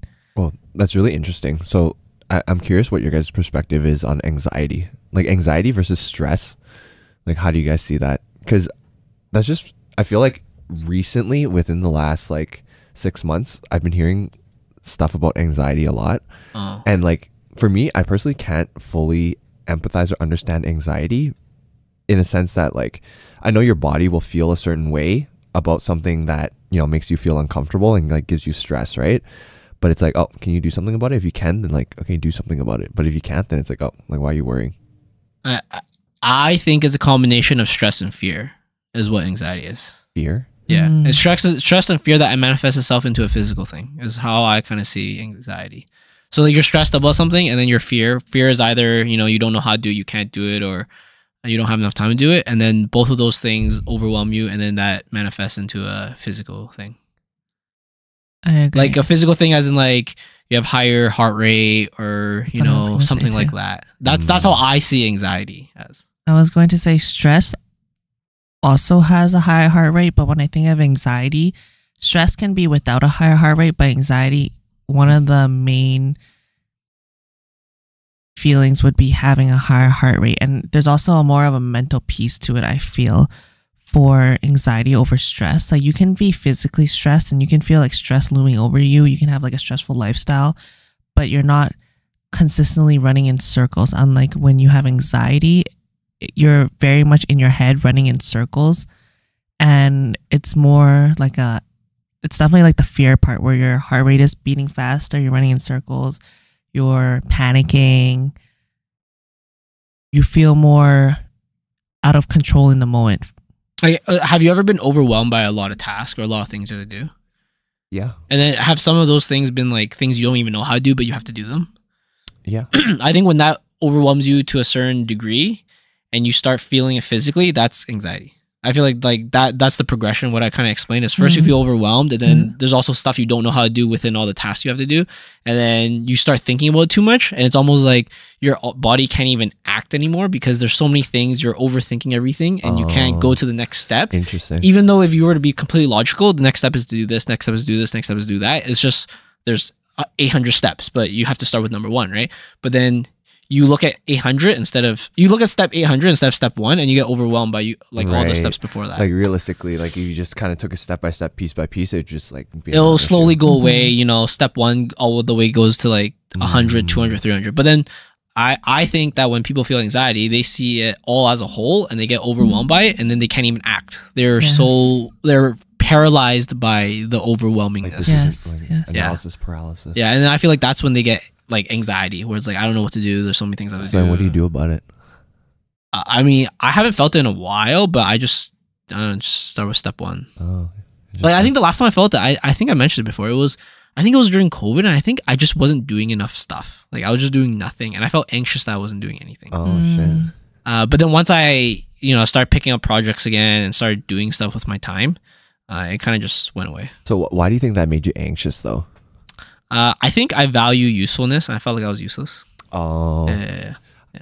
well, that's kind of that's kind of cool because I feel like that relates back to like your personal worth a little bit, right? yeah, yeah, Oh, yeah. Interesting. Like I, I, I mean, it's not great, but it, it sucks to judge people by the stuff they Right. do. But it still, it still characterizes you. It builds your character of who you are, Yeah, right? yeah. So to me, that stuff mattered a lot. Like who I am as a person, the character, the things I can do, yeah. and because of that, doing nothing felt like I was Diminishing going back. Yeah, yeah. I wasn't gaining. I wasn't advancing in my life. I was just doing nothing. Well, that's so interesting because my experience of anxiety is more less to do with my self worth in that way. And from what I've concluded it to be, would be overstimulation. Yeah, no, I, I felt that Yeah. version of it before too. But the last time I felt it was Oh, okay. because of that. But I, I I feel like both can create a version of it. So for example, in my case, I was anxious because I felt like I wasn't doing anything. And there's all these things I could do, but I wasn't doing any of them because I was so overwhelmed with which one I should do. Mm-hmm. Right. So it's like that makes a lot. Of You have all these different cakes, which one should you eat? But you can only eat one. So you want to pick the best one that you can possibly eat. right. But then that, you know, that that indecision could yeah, could screw you over. Right. Right, right. you're just like oh, like it's like almost like FOMO a little bit, right? Yeah, yeah, yeah, yeah, yeah, Mm. yeah, You get that? yeah. So it, it's it's similar to the way you say about overwhelmed, but for me it was different. It was Yeah. just a different manifestation of what it was. I get it. Yeah. Mine came like randomly. Like there's twice when it came when we went out. One was after a vault when we went out for volleyball practice and we went Yeah. to Kodaway after I think it was Kodaway. No, it was Pho Hoan Pasteur in the west side. Yeah. We were all just eating and all of a sudden I had an anxiety attack. Oh shit. Was it a stomach ache? No, it's so weird. Okay, so the experience was I forgot. I think it was Samson actually that was right across from me, or it was either Samson or Tony that was right across from me, Yeah. and they were talking directly to me. And then literally, like one second, it felt like this, how you're Yeah. talking to me right now, and then the next second, it felt like someone put a fishbowl over my head, Yeah. and then I couldn't really differentiate you talking directly to me versus all the sounds in the restaurant, Right. and every single sound was ex- the same amount of loudness. Oh shit. Like you know how your Oh. brain can like Yeah. Tune out Yeah. background sounds to like focus on the person that you want to focus on. But it was like all of a sudden with like just like that. Yeah. Chaos. every- yeah, chaos. I could hear every single sound in the restaurant, all with equal amount of loudness. I couldn't focus on whoever was talking to me directly, and then everything was like, like just way too overwhelming. Did you get bit by a spider? I don't know. I, I wish I did. you know? Spider Man? Yeah, That's what happens for Spider Man. Yeah.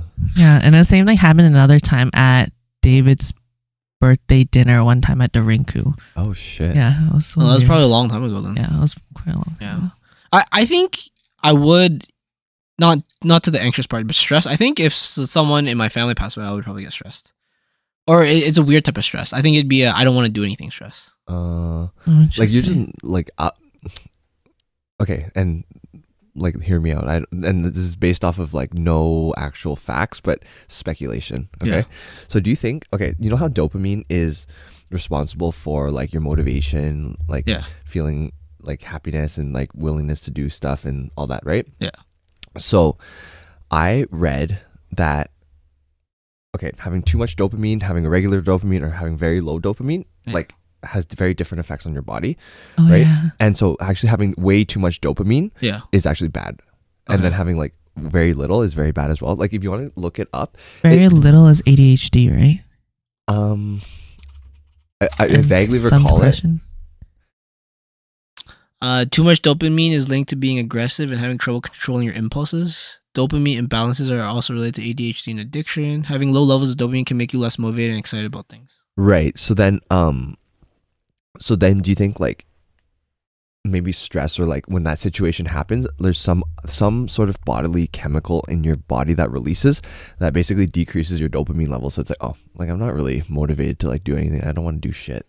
You know, and that's not like is that stress? Like you know how certain certain like hormones or um yeah, yeah. and not enzymes hormones or like whatever is like in inversely proportionate Okay. right like if Mhm. this thing goes up in your body Yeah, this yeah. goes down Yeah. right? Yeah. and so in those situations it's like oh something in your body goes up which in, in turn causes dopamine to go down which makes you feel that way Yeah. But then Cortisol, nor- norepinephrine, norepinephrine Norepinephrine. the, the question is what's dopamine. what's the increase that's causing the decrease, right? Because I don't think the Mhm. dopamine is decreasing it on its own. It's something you're right. It's probably Yeah. something that's causing it. So I think in a state of grief, I don't know what would cause it, but yeah, in a state of grief, I would just not want to do much and just be sad for a bit.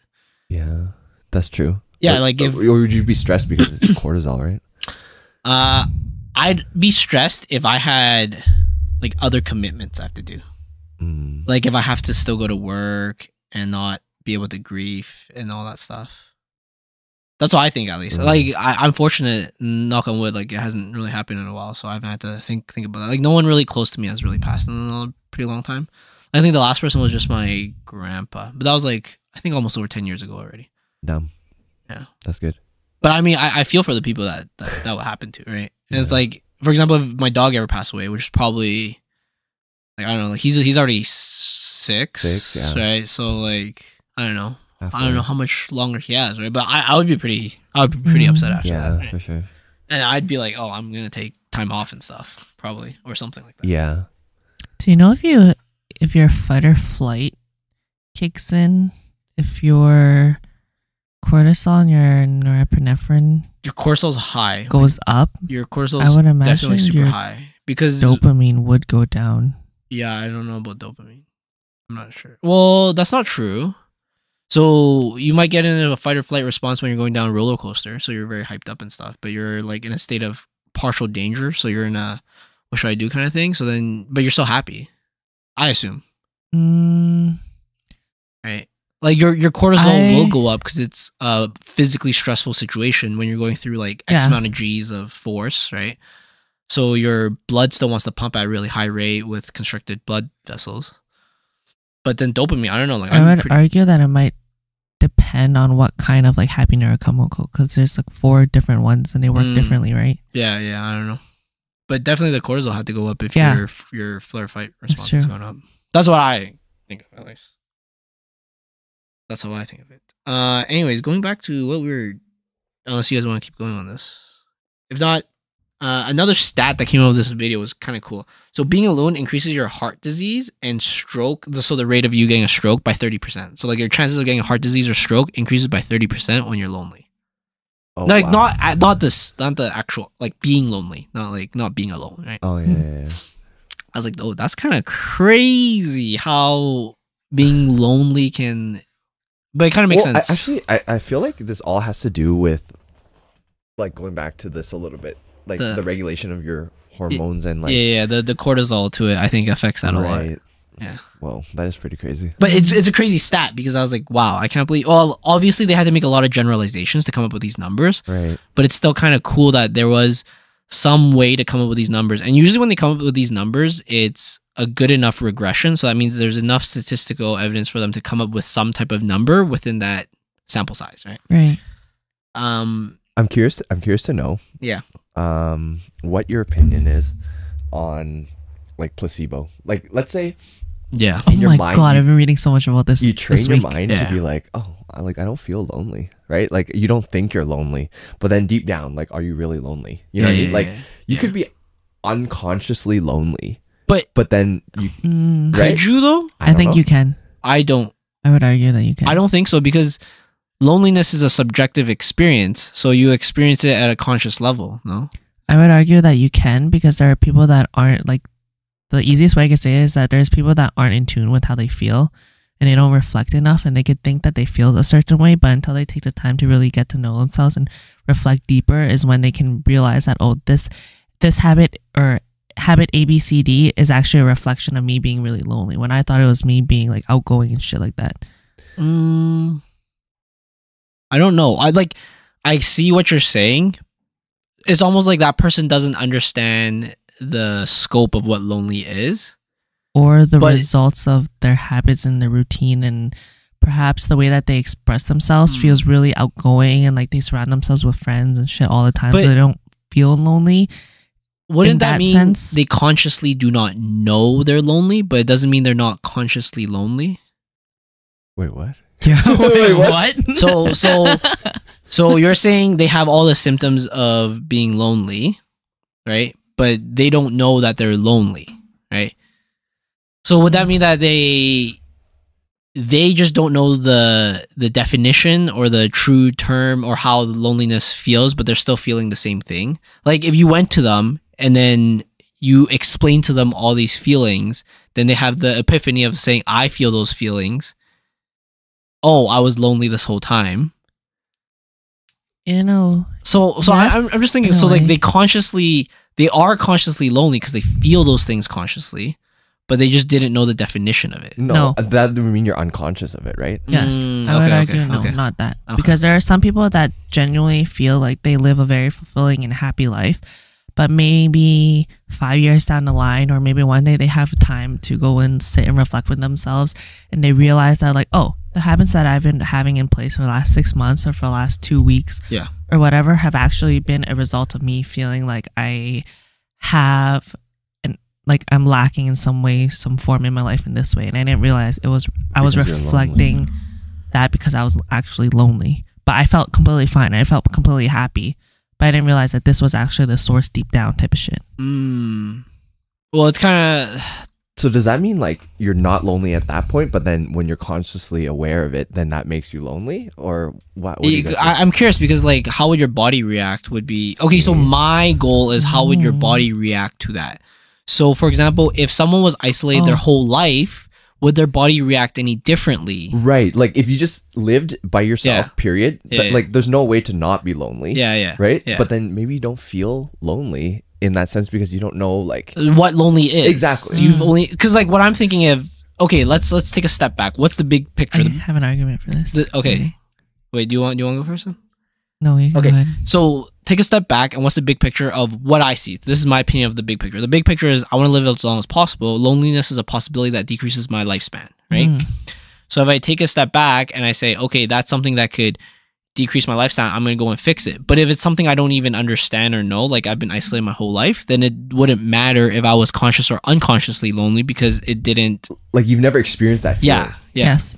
I Right. get completely what you mean, but I think if you're thinking about your body physically, yeah. your body can still feel it without you being aware of it. Because the one example that I have that makes me understand it well is that your body can feel stressed without you feeling stressed. So Right. exactly like my experience. Right. Like I mentally don't feel stressed, but I know that my body feels a lot of stress regularly. right. And somebody can live a very stressful lifestyle and that can be very normal for them. Like you're a very imagine you're a guy Yeah. that has always just Like been in benchmark of it, right? solitude.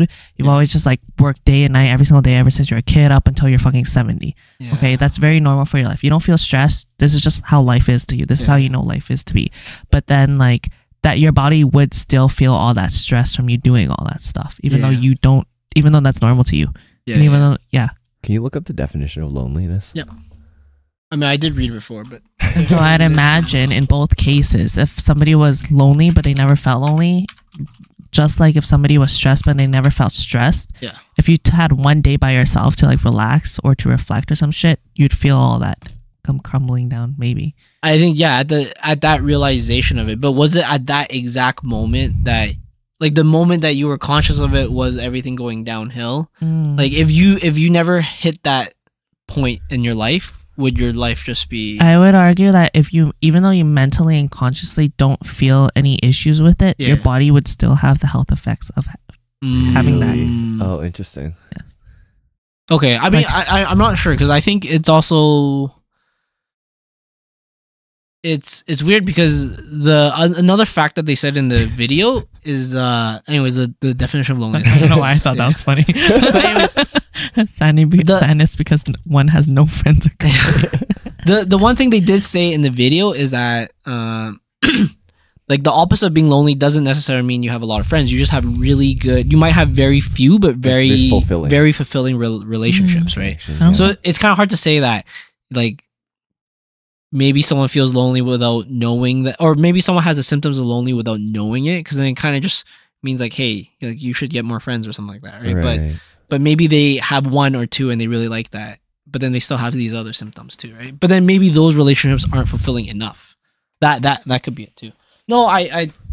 I see your point that it could uh, affect you without you even knowing it. It's like a unknown disease. I think that you can have like the bestest friends in the world, but that can only fulfill you so much I would Uh, for lonely for I- loneliness. I would disagree. Uh, yeah, I would disagree. Really? Yeah, I, Yeah. I would disagree. really, like it depends Why what is you're that? looking for, right? Yeah.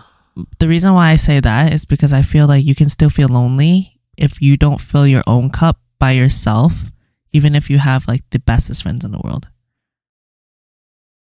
Well, but does th- that relate to loneliness? that that's about like self happiness. Yeah. that's not really lonely or not. Like Mm. like if I had really good friends, I'm willing to share anything and everything with, and my subjective experience with them was like as the as best as I can. As in like I'm not wanting or yearning for any more from this relationship. right. Then I am not lonely. I might just be unhappy. yeah, exactly. Oh, You're okay. Unhappy get- I in other you mean. aspects, Yeah, right? yeah. But it's Yes. like in terms of loneliness and connection and stuff, you're fulfilled there. But Yeah. it's like for your own, yeah, Okay, exactly. yeah, yeah, yeah. I yeah I'm, it, I I'm completely You're right. fulfilled with what I get from the relationship and all my desires are good. I'm just unhappy somewhere else. Mhm. Right. Get it. Yeah. So that's um interesting part. When was the last time you guys felt lonely? Um probably like my last breakup. That was Mm. like I think like 10 years ago or more. Oh no. Cuz I think after that I kind of learned to be content alone yeah. and then after that every relationship there was just easy because I was already content alone if that makes sense. So like I wasn't ever worried about being alone. So then I I felt that every relationship after that um whether it's friendship or whatever type of relationship I felt like I could excel easily in that because I had nothing to lose if that makes sense. Interesting. I Yeah, felt like yeah. Yeah, that's fair. Well, if I had to really think, I'd probably say around COVID time when I had like no social interaction.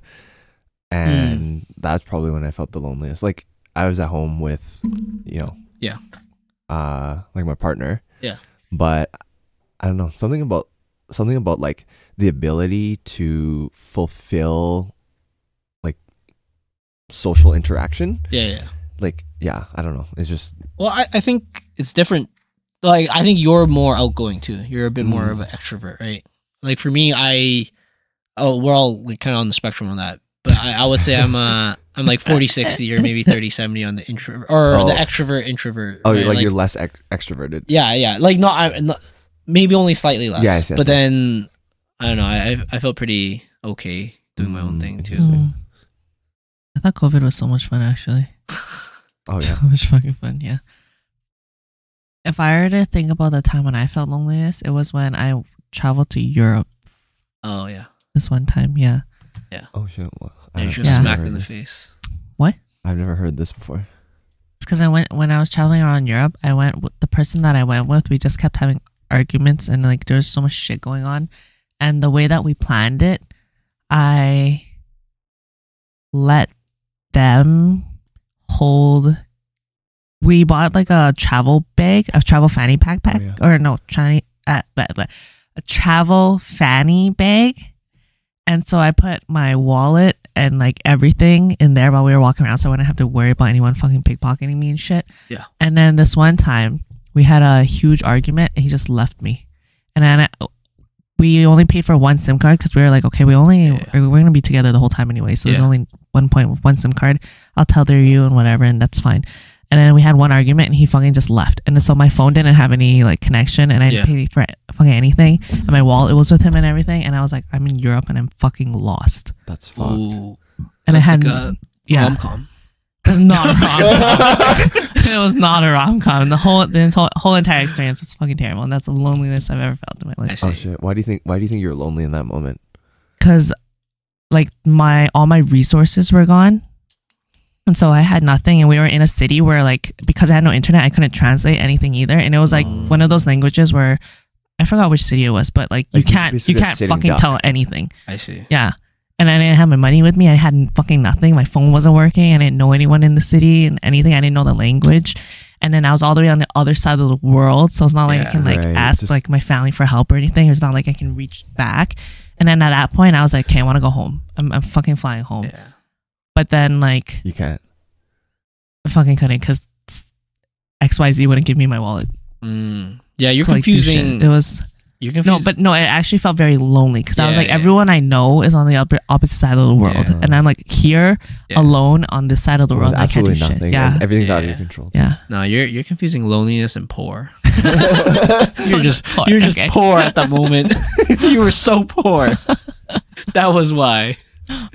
Uh, speaking of which, uh, there was also a cool fact. So like they in this video, he went out to ask people like you know what would make you happy, right? Mhm. Yeah. And he like baited you with this video. So if you guys watch this video, I'm already gonna spoil it for you guys. But at first, he'll have all the clips of people talking about money, Yeah. right? And then later, every single one of those person actually started talking about relationships right after they talked about money. Oh, Mm. shit.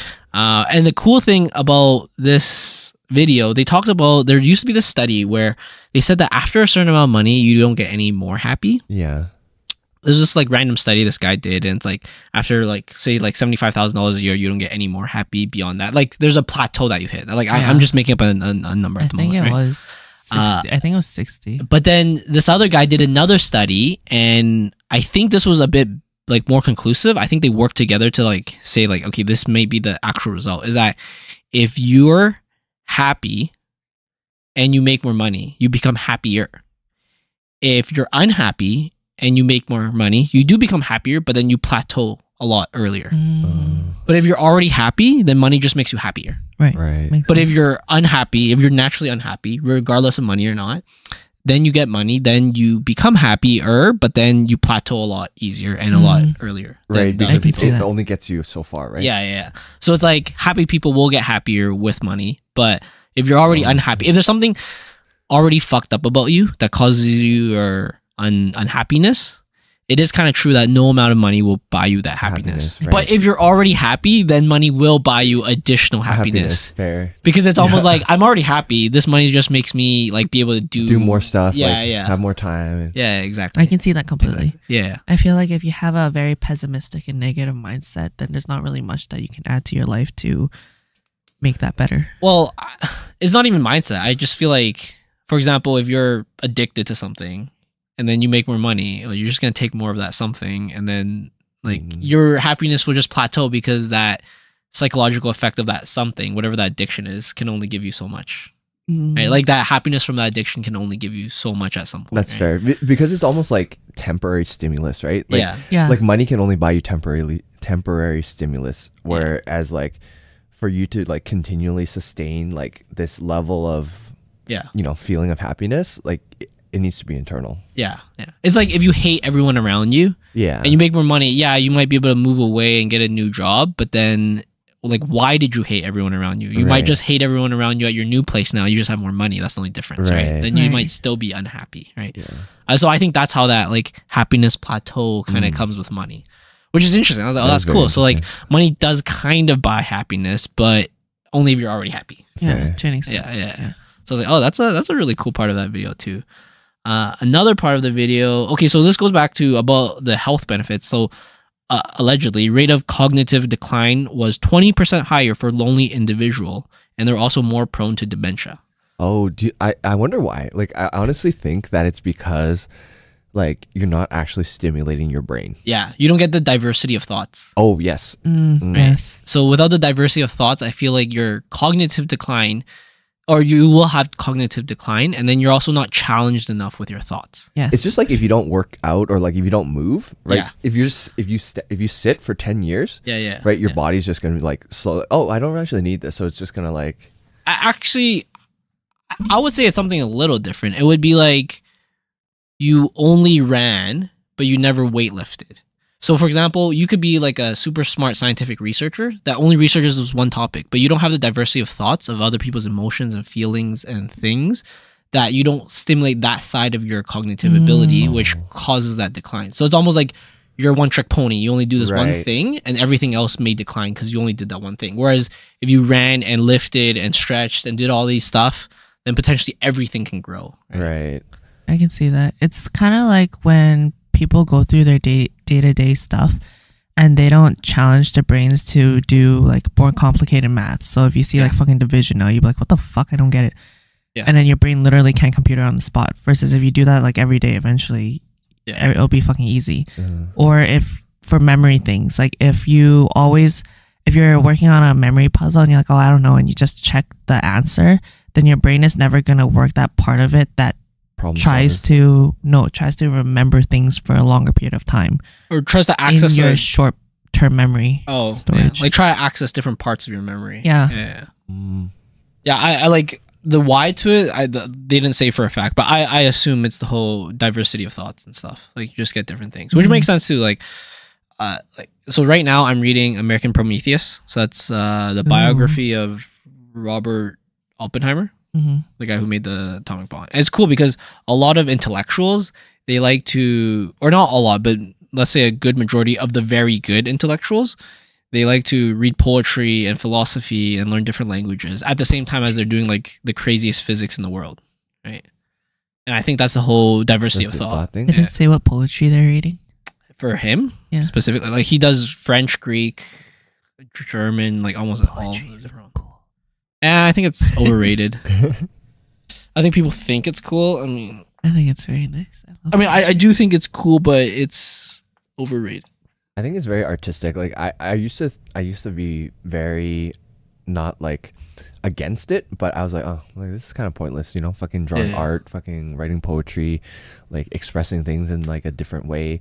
But I'm like, oh, actually and I, I think it's because I grew up very like objective, very black and white, like yeah, uh very direct, that kind of stuff. Yeah. So with art it it was like, oh, you wanna draw like you know, a lion or something, then you just draw a line. It's like, oh yeah, it's a, it's a lion looks pretty, you know, close to realistic. But then I feel like art is just now I understand that art is more than just making something look good. It could be like, you know how that that saying like a picture speaks a million words or whatever. It's like, Mhm. oh, you kind of interpret your whatever the fuck you want to interpret, and there's no actual meaning to it, but it's just like, yeah. If you take it less seriously, as in like, it conveys a feeling. Yeah. It makes you Yeah. feel something. and it's different for everyone, right, exactly, Which is something I think people should have to understand. Like, I think poetry contests sometimes are kind of dumb because I think it's different for everyone. It's It's like like poetry contest. I would Yeah, have joined some. like slam poetry and all that bullshit that's too, stupid. right? Yeah, that's what I think of when I think of poetry.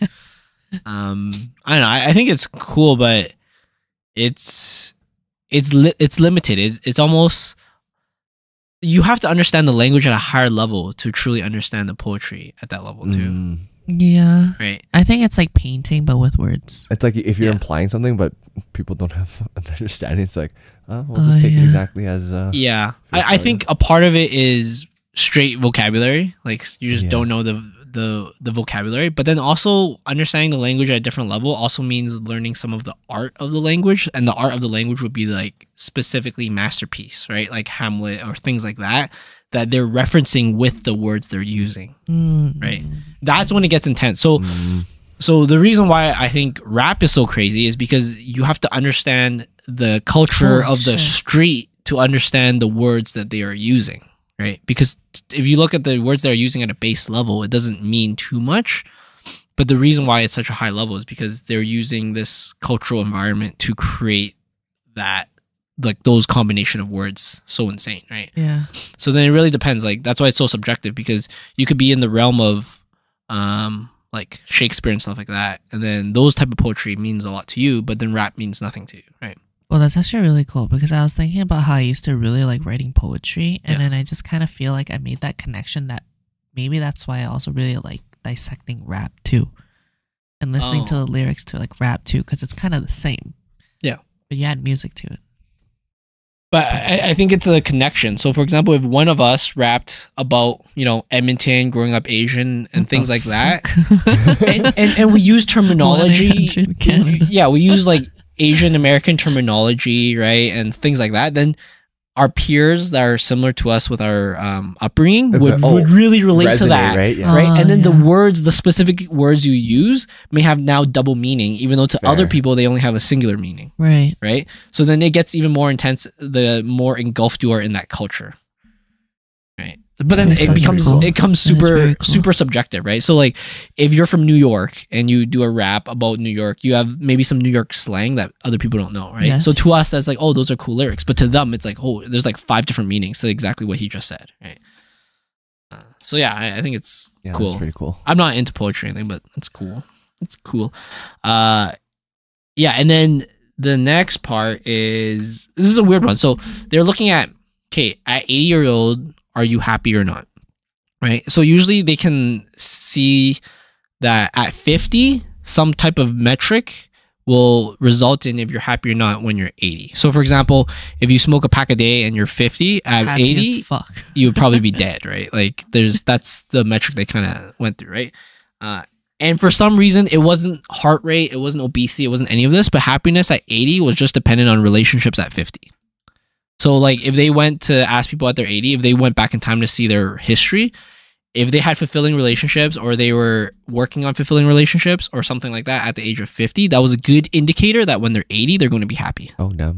Do you think like the reason for that is because of loneliness? Because if you don't have fulfilling relationships, then you'd probably be lonely. Yes, yes. Yeah.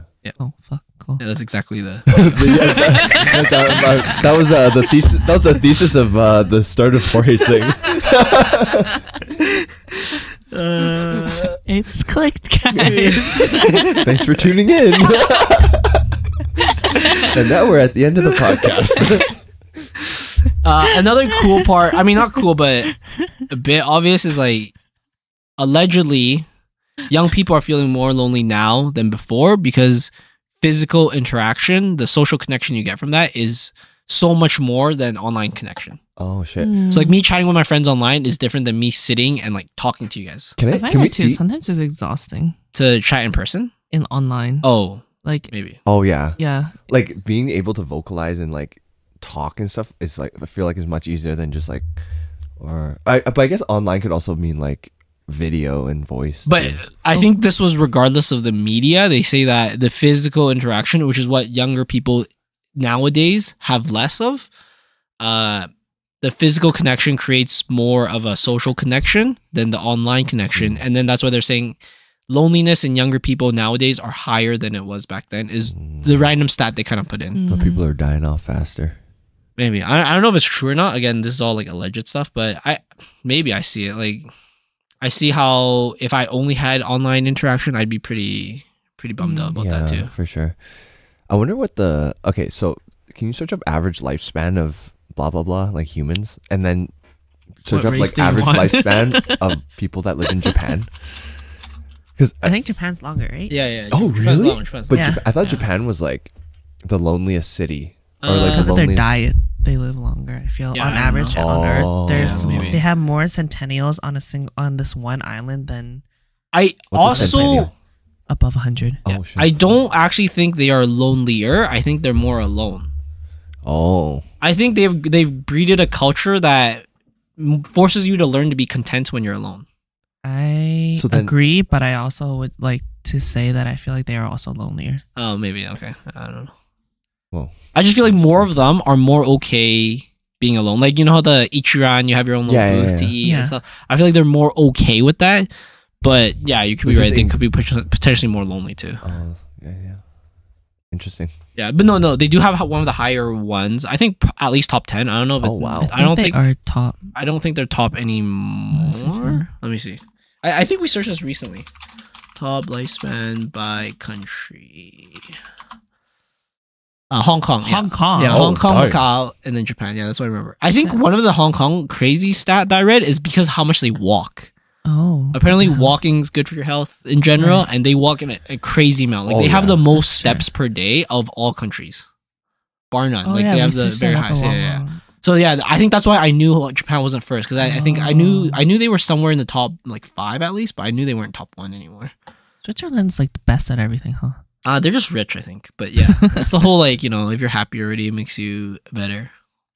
Switzerland's fourth, by oh the shit, way. Japan is third. family. Yeah, yeah. I mean third of you know uh, many is pretty good. Oh, Yeah. Singapore. Yeah, Singapore's pretty high up there. Uh, as well. Singapore walks. I a feel lot. like it, it also depends on like the type of uh like government. Like Switzerland is socialist, right? Mhm. right. So I feel like for that, obviously age span expectancy is longer What about because Hong Kong then? Tell me your argument there. I don't have to tell you.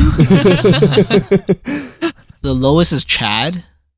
and Nigeria. Oh, Chad's man. that's crazy. 50 54. Could you imagine 54 is your life expectancy? That means you're already half past your life. Like you're past the half point of your life. Sick. at what point would you fucking retire, dude? Like You I- don't. Yeah. You work for the government Right. until. until you die and then Holy shit, that's Yeah. actually fucking crazy. Can you imagine? yeah, I wonder if there's one that's more skewed for girls. Oh, Nigeria's worse for girls. oh, Chad's second. yeah, yeah. last. Chad's not first anymore. yeah, okay, that makes sense. Yeah, Chad for guys, Nigeria for girls. All right, makes sense. I would like But to point out two- there's a very is there common only 200 thing. countries in the world? No, I think there's more. So then there's I think some of them there's not enough statistics like, to Oh. give a good like enough. the numbers would be yeah, skewed, right? There's 109. Oh, maybe What there. the hell? Yeah. Okay. No, I think there's more. Yeah. Okay, so sometimes they like I like you know a- the, the the British Isles. I think they count that as their own, but they're Uh, oh, technically got it. Yeah, like some of those situations. Right. There's a commonality between all these things. They're all in Africa. yeah, Very common thing. I think the lack of clean water really skews Yeah, it a lot. That's You're true too. right, and then I think being um like not able to Third world. yeah like uh cl- cholera or whatever that kills pretty much if you have a kid that dies at zero age old It it'll it'll rips your skew the skew, stats yeah. like crazy You're right, right. it'll just destroy it so like i think infant mortality is probably what skews a lot You're of this stuff you're right You're right. I, I mean I don't, I don't know if they count that or not i don't know how Is this that in works. France? uh no i think this is in africa probably it was probably like a previous french colony i don't even know how to say it Cote d'Ivoire yeah this West is south Africa. africa right, or yeah. no this is africa straight up africa this is uh west africa it literally says that. Yeah. But yeah. And then the last part of the video is just a quick thing. They just said that um make staying connected a practice that we can cultivate. So it's like working out and staying connected should be similar only because it can for me at least, yeah, it can contribute to my lifespan Mhm. and stuff. So I should actively think about all right, connecting with people Oh, and shit. talking to people and trying to Yeah. and there's a difference between just talking and actually being connected. Connected, yeah. I think one big thing about loneliness, again, back to the definition, is it's a subjective experience of being less connected than you want to be with people. like connected and understood. I feel like right. yeah, but it's it's the whole point of being less connected than you want to be with people. So like you have to know what you want and how much you want to connect, and you want to try to reach that level, right? Right. Because like you could be overconnected and that could be Yeah, but I think the the biggest factor would be, for example, if I have something that I'm so ashamed of that I won't tell anyone that, but I want to tell people, but I'm so ashamed of it, then that could be something that's hindering me possibly of being more connected and make me feel lonely now because there's something I'm ashamed of, right? Like Right. I've, you know, I don't know, right. Some crazy disease or something like that, right? That I want to share, but then the fact that I can't share it because of my shame is actually making me lonely. Mm, Oh damn. Yeah. That makes sense. yeah so that was a I don't know. That was a cool video. If you guys want to also look at the video, it was just cool Feels like stats. we already watched it. Yeah, pretty much. if you go through the video, it's pretty much it. But I thought I was like, whoa, shit. There's like a lot of cool info they have on the video. What what uh how did this pop up or how did you get inspired to watch this? Oh, uh, so I have a thing for myself at work where I try to learn one new thing every day. Uh yeah, you did tell me this. Uh, so whether that be AI news, whether that be you know a, a tip from a software like oh Excel use this function instead of this function, this is what it does, right? Learn Or- something new every day. Yeah. So so usually I miss like one or two days. So then on the third day I'll do three three in a row, right? Uh, and then I'll just stack some stuff just because I'm busy or I just didn't want to do something at that time. Uh, so one of this video was there. And I was like, you know what, this this will be a cool one to learn because I didn't just focus on like technical things I do at work, even though it is at work. I think being uh okay, I think your workers being happy or fulfilled is also part part of their pr- productivity. Yeah, culture. Yeah, yeah. So then I thought, okay, then like this happiness thing is completely relevant to work, even though someone may not see it at the at the at onset, right? Yeah. Mm. So yeah, I just saw the video, and I've been watching some of his videos, which are pretty cool. Like he talks, he's a What's his name again? Vera. How do you, Oh, yes. Vera Vera Satum Vera. Did I?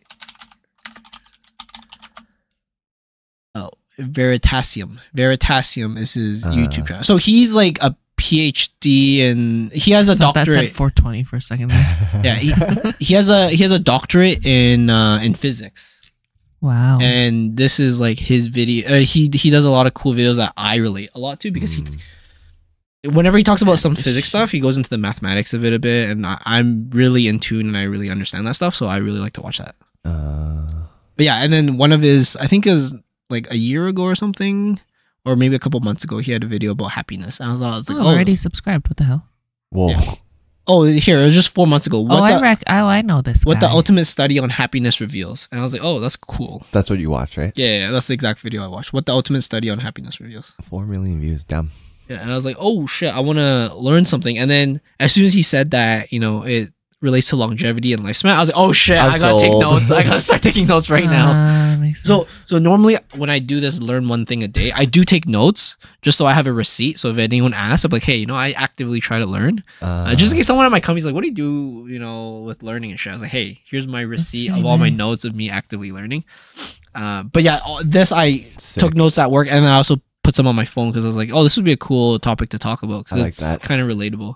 Because I think, at least on this podcast, I've talked a lot about health and physical health stuff you do to make you last longer Yeah. or to make you live longer. Yeah. But I've never gone into any of this stuff where it's like happiness. The other aspects of making you live longer. yeah, yeah, yeah. Mhm. Because I think I've also I wouldn't say I've neglected it, but I haven't focused on it enough. Oh, Mm. very interested to see if you keep focusing on your happiness while other things you'll discover. Uh, I'll be honest. I think I'm pretty happy and I'm not lonely at all. so, I would, but but I do. I will actively try to cultivate it more.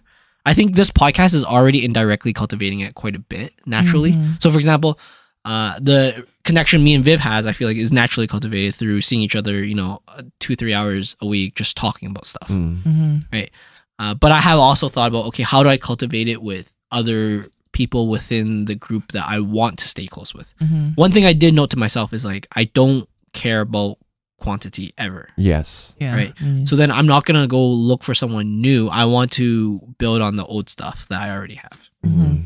I think that's very important. Yeah. Okay. So I think from- over quantity. From this video, that's probably the biggest takeaway for me is that I'm actually gonna start thinking about it. Whereas before I never thought Like, about be it. proactive about it. Yeah, because like before I never thought about it because it just felt natural that it was always happening, and I never Mhm. felt like I've never felt wanting to connect even further. Mm-hmm.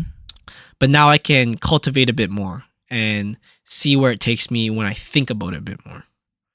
Right? Because what I want may also change, and Yeah. I, I think the more you cultivate it is almost like upping your max rep or max weight. Like you don't have to lift at that weight, but now you have more options of what weight you want to lift at. Mhm. It's just like a Yeah. simple example. So if I cultivate my relationships to a really, really high level of connectedness, I don't have to connect with them at that level all, All the, the time, time. But I have more options of what level I want to connect with at what time. Yeah. Right. And like Yeah. l- almost like the benchmark and the threshold of all your connections too, right? Yeah, yeah, It's that's like- true. Like right? I have a comparison now of what I want. You also have better quality. Yes. Well, that's too. exactly what we're talking about, right? Yeah. Like Yeah. Like once you get to a certain point, it's like, oh, like we know like we can cultivate relationships or connections at this point and it's like okay now i want the basis of my like connections to be here instead of like right here Mhm. you know Yeah. what i mean Yeah, yeah, yeah. Well, yeah. So I, I think yeah, I thought, I thought it's a cool aspect that I never thought of that never affected me, and it's something that is almost like a fun little project. Like you know how last year I made the resolution of like making a new friend every whatever. oh yeah I thought that was so dumb. I remember hearing all your little stories about it. I was like, hmm, interesting. interesting Yeah. But then now I feel like I have a new goal of just, you know, this whole cultivating Deepening and- your connection. Yeah, yeah, yeah, yeah. Which is cool.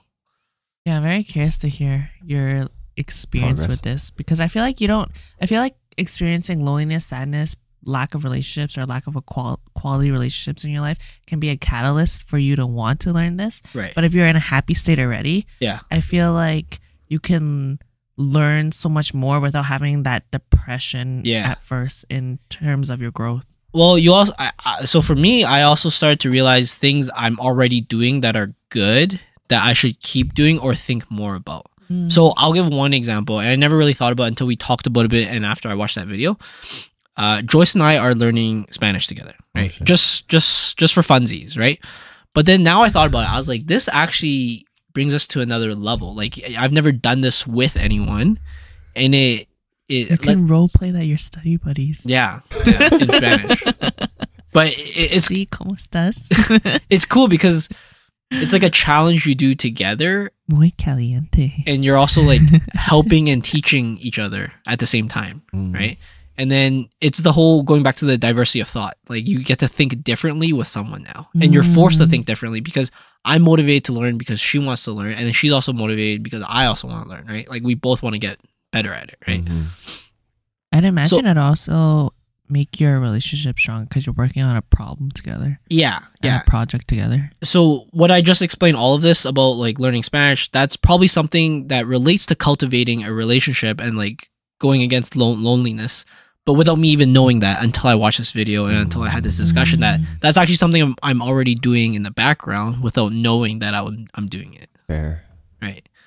Uh, and I, I feel like it could probably come up in some other examples too that I have no idea. Right. So for example, another one uh, with Butch. Recently, I gave him a book that I read. Yeah. I think that's kind of cultivating a cool relationship because Now we you we about we it. talk about the book a bit, Yes. and then we talk about the scenes in the book, and we like hype over the same I feel thing. like a conne- connection and whatever is all over like shared experience and shared struggle yes. right? Yeah. Oh yeah. Yeah. So then this is now something that prior to watching this video and this conversation we're having, I never thought could cultivate a relationship. But now that I think about it, I was like, oh, this is actually progressing our relationship into something else.